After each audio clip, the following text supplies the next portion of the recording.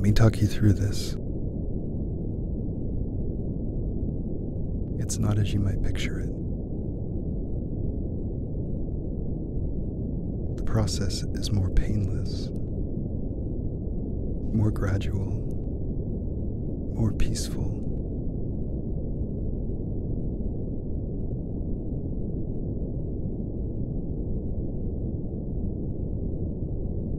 A gentle cascade over the span of time.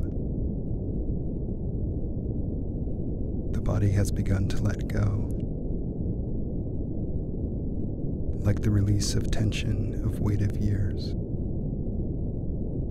of emotions, traumas.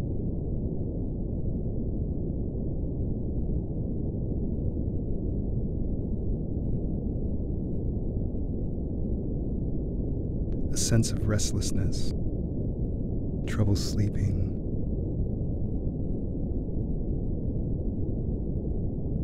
constant apprehension.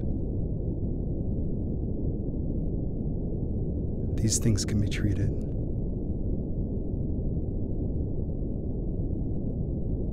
It is important to remember that these processes may occur differently to different people. There is no particular order to them either. The symptoms can occur hours before, days before, weeks before. Appetite may be lost. Thirst may be scarce. Muscles may weaken. One's strength might be lost. The failure to walk or stand. This is natural.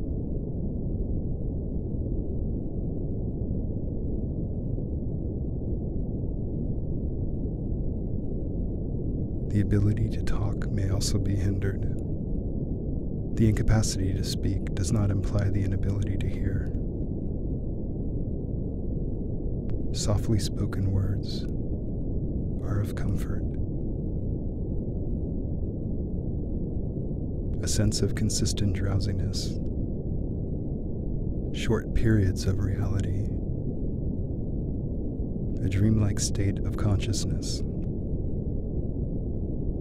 amongst delusion about time, place, and people. It is best to allow the body to do these things. Physical changes will also occur.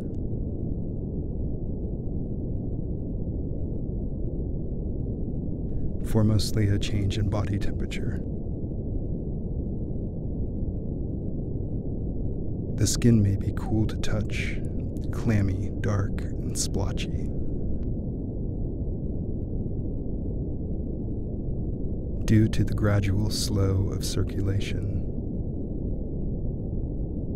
This is natural.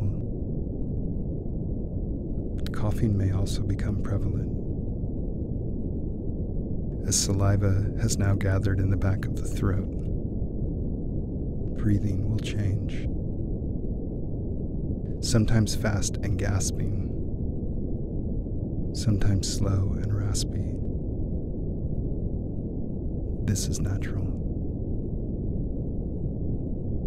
Coming off life support parallels many of the same processes of a natural death.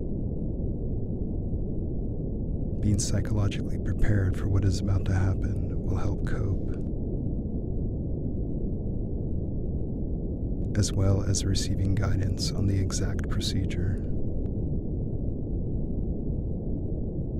Let me walk you through this now.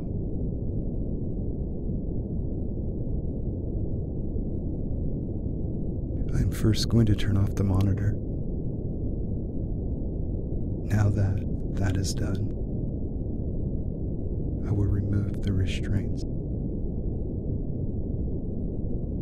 Next is to silence the ventilator and slowly take it out. The body is now off life support.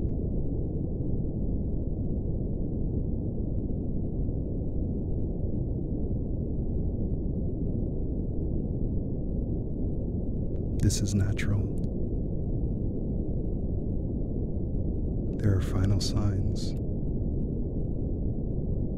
Stopped breathing. Inability to wake. Fixed pupils. Slight gape of the mouth. And the cease of pulse.